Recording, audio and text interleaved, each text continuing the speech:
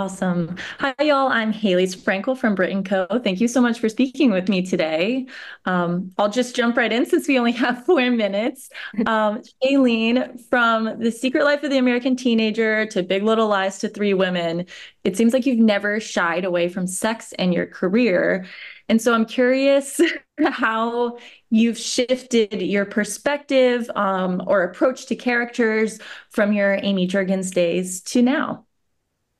Well, I mean, sex is something that is very innately human. Um, it's something that we all have a relationship to, whether we have a healthy relationship to it or not, uh, is based on our own stories. But um, yeah, I, don't really compare, I guess, like uh, this is different than Secret Life or Big Little Lies or to me, it's always about finding or exploring who a particular character is and the way that they relate to themselves. And then the way that we relate to ourselves, I think, dictates the way that we relate to the world and um and sex is included in in that subject and in that reference because yeah it's as it's as natural as breathing or drinking water it is a very human human thing to to be involved with Totally. Speaking of Big Little Lies, do you have any tidbits you can drop for season three? Well, I mean, I hear the room, the same rumors and gossip that you hear, and I just hope that they're. I hope it's true. It'd be very fun.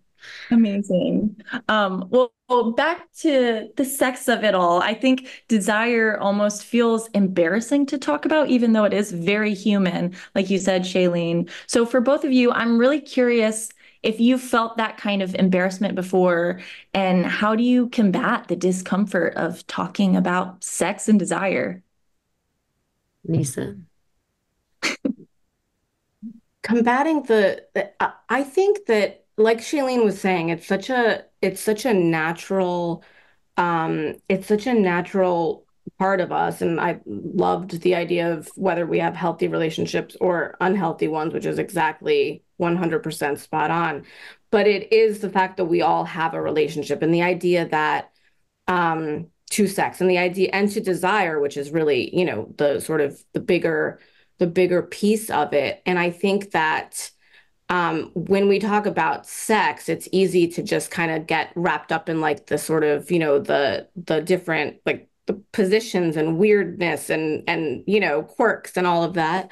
Um, I think that the idea and the notion of desire um, doesn't doesn't have anything to do with that sort of other aspect of it. The desire, I think, is almost much more of a platonic feeling. It's a desire to be like loved, seen, uh, held.